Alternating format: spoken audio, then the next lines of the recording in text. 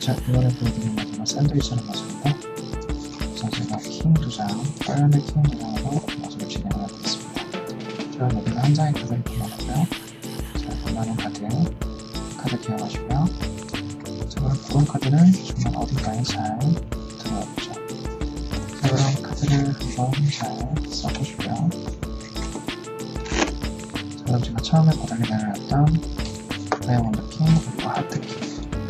이킹 도장은 재밌게도 카드를 흔들어버리고 한 장을 잡아놨는데 이렇게 잡아낸 카드는 처음에 보던 카드가 아닐 겁니다. 큐 다이아몬드 아니죠.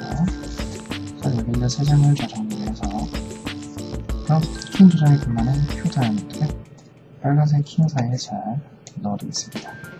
그 다음에 큐 다이아몬드 자, 하나, 둘, 셋그 다음에 큐 다이아몬드가 뒤집어져 버리는데 처음에 보는 카드가 자, 샌드위치는 이렇게 세 장의 카드를 가지고 진행하는 마술이고요.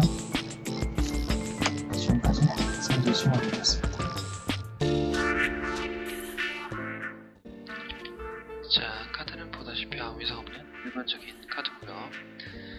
자, 그럼 제가 빨간색 킹 두 장, 이 두 장을 가지고 마술을 진행할 건데 우선 한 장의 카드를 골라보겠습니다. 자, 제가 골라낸 카드, 이 카드 기억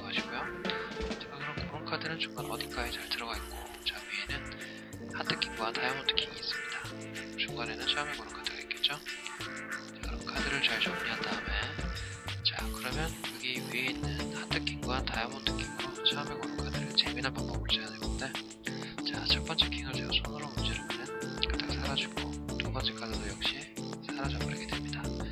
자, 그럼 카드는 완벽하게 잘 사라졌고요. 자, 그러면 또 사라진